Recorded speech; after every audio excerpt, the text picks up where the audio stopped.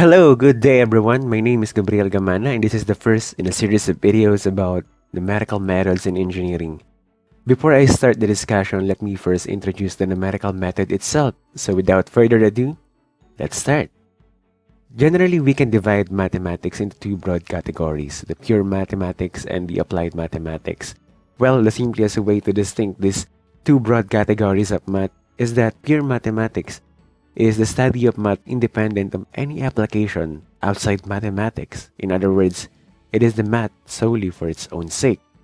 Here is the list of subject under the category of pure mathematics, commonly taken by college students from college algebra, the determination of the roots of the equation, to integral calculus, the determination of area bounded by a curve. On the other hand, applied math is the application of mathematical methods in different fields. In short, it is the use of math for practical applications. Here is also the list of subjects under applied math category from differential equation, the determination of temperature variation, to bridge engineering, the design implementation of feasible bridge solution. As you see, most of the subject presented here under the applied math category is based on the curriculum of civil engineering students since I am a civil engineer. And as you also notice, the numerical method is under the category of applied mathematics. So what really is a numerical method? Generally speaking, numerical method is the consolidation of pure mathematics as one subject. It is the study of algorithm or process that utilize the numerical approximation to solve mathematical problems. Yes, you heard it right. We are going to assume a lot of things within the subject since it is an approximate solution of a mathematical problem.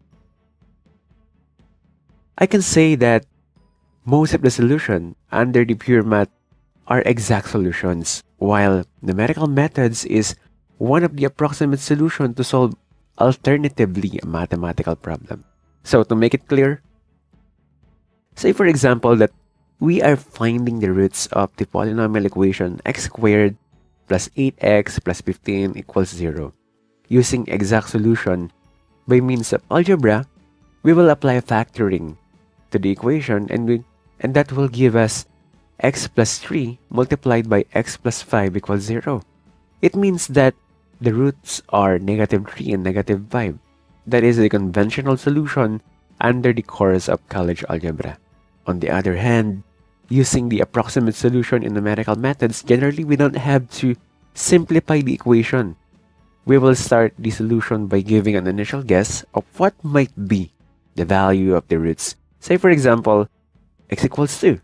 If we substitute that value of x in the equation, obviously the equation will not be satisfied. But remember, that is only our initial guess. Using algorithms or process under numerical methods, for example, the algorithm of Newton-Raphson method, we can refine our initial guess by means of iterative solution, in short, a trial and error approach until we arrive in a value of x where it will satisfy the equation or the so-called convergence. So using the Newton-Raphson method, where f of x is equals to x squared plus 8x plus 15, and the denominator is the first derivative of f of x, which is equals to 2x plus 8. So using this equation, we can now refine our initial guess by substituting x sub n equals 2. The refined value of x will become negative 0.917. Obviously, this value is still far away from our expected value, but if you compare it to our initial guess, it is quite nearer to the expected one. So, by continuously updating our x sub n, after a few iterations, we managed to arrive at the expected value of the root. Most of the solution under numerical methods will be handled the same way as this example. Since numerical methods or iterative solutions are simply a solution that requires continuous repetition, until a condition of a particular method is satisfied. This way of solution is very helpful, especially when we are dealing with transcendental equations, equations that involve trigonometric function or logarithmic functions, since it is too difficult to simplify the equation to extract the value of the roots. For example, 3x plus sine x minus e raised to x equals 0. Lastly, the numerical method is very important because this is the way how computers solve our mathematical problems, and we are now living in a computerized world.